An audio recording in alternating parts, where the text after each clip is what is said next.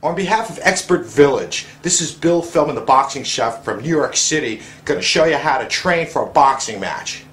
Okay, the first thing you do when you want to train for a boxing match and you want to start your training, you got to stretch out. The first thing I do is I start with my neck. I go from shoulder to shoulder. I want to loosen my neck up in case I get a heavy blow to my neck. I won't pull a muscle. You breathe in through your nose and out through your mouth. Good. Now we go semicircle around and back. Breathe. I stay very relaxed. Now I go forward, semicircle forward. I go from my right ear to my left ear.